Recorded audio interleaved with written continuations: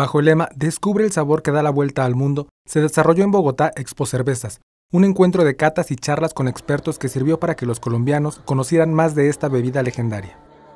Cerca de 10.000 visitantes asistieron a Expo Cervezas, en un exclusivo centro comercial de la capital colombiana, donde tuvieron la experiencia de probar cervezas como Poloner, creada en 1634 por los frailes mínimos, Kositza, producida desde 1543, Duvel, con 8.5 grados de alcohol, o Báltica, considerada la compañía cervecera más grande de Europa del Este. Nuestro objetivo principal de todas nuestras ferias en el Grupo Éxito es la formación integral de nuestros visitantes o clientes que nos acostumbran visitar. Entonces lo que hacemos es crear cultura cervecera. En este momento estamos creando cultura cervecera, ya que tenemos más de 40 marcas de cerveza con 15 países diferentes, cada una con sus cualidades diferentes.